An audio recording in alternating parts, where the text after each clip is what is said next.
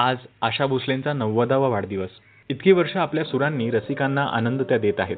आशाताईंचे सूर अनेकांना मानसिक आधार देतात. आशाताई आणि लतादिदींच्या गाण्यात फरक असायचा. त्यामुळे प्रत्येक बाजाचं गाणं कोणाला द्यायचं हे संगीतकार ठरवायचे. पण दोघी बहिणींनी एकत्रही काही गाणी गायली आहेत. पण त्यालाही बरीच वर्ष झाली. एका कार्यक्रमामध्ये आशाताईंनी ही गोष्ट उलगडून सांगितली. दोघींनी उत्सव सिनेमासाठी एकत्र गाणं गायलं होतं.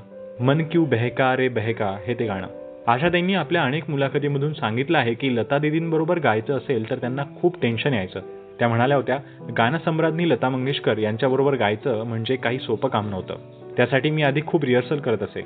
दिदीसमोर कुठेही कमी पडायला नको कारण पुन्हा तीच माझे कान धरेल.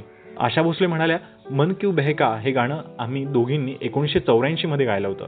त्यानंतर दोघी एकत्र गाणं गायचा योग काही आला नाही. हे गाणं म्हणूनच माझ्या हृदयाच्या जवळ आहे. हे गाणं जेव्हा ऐकते तेव्हा ते दिवस समोर येतात.